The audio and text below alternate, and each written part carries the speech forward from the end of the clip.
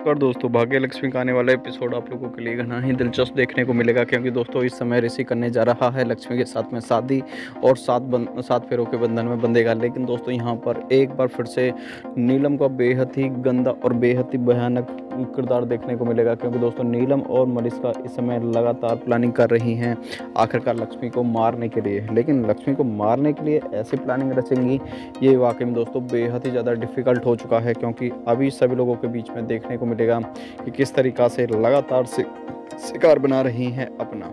जी हाँ क्योंकि ये इस समय जो शिकार बना रही हैं, ये लक्ष्मी को और ऋषि की शादी।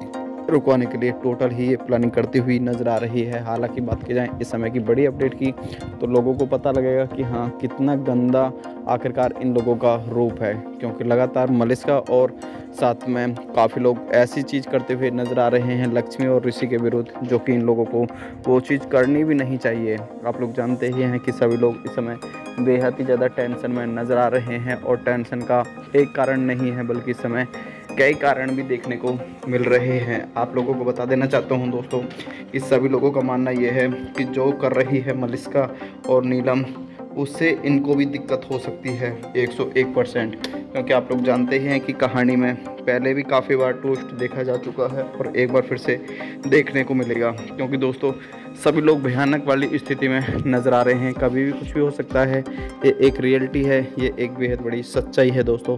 ये एक बहुत ही अलग सच्चाई है।